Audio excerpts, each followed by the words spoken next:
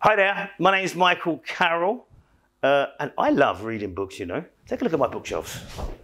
Now, I don't know if you keep your books on a bookshelf or if you keep your books in your iPad or tablet. You know, but a lot of people I speak to end up not reading books, which is really a shame.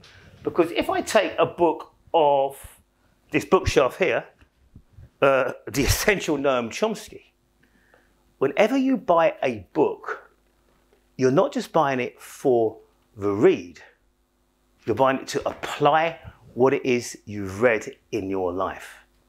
So you always have a goal whenever you read a book. Every one of these books will have a goal, personally for me, as to what I'm going to do with the information.